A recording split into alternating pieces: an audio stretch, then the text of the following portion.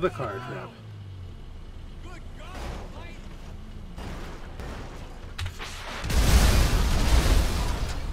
Best way to get to destroy 10 vehicles.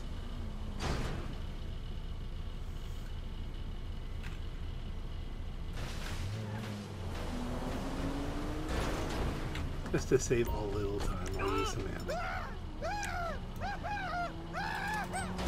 ammo. There you go. Did a little extra.